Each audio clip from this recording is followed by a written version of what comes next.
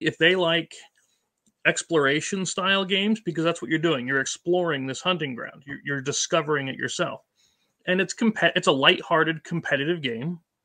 Um, we took um, we called it family friendly because it, it, it, there's nothing in there that's going to uh, be brutal.